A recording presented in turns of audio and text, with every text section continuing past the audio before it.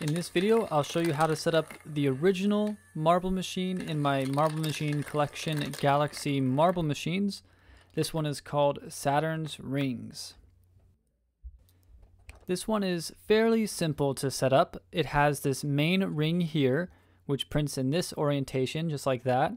It has the small drive gear and the planet. At this point, I remembered that I did hot glue my motor into the machine, and that won't allow me to take off the ring support structure. The motor shaft slides through the ring support structure there. There's also these two smaller pieces that hold the ring in place.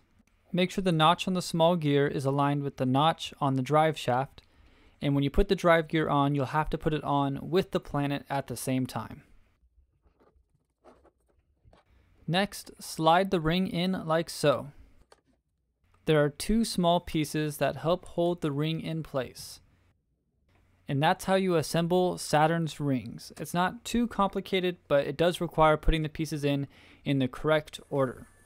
The motor and the DC power adapter attach very easily. Just attach um, each wire to both ends and you might have to switch the orientation of the wires to get the motor to spin in the right direction.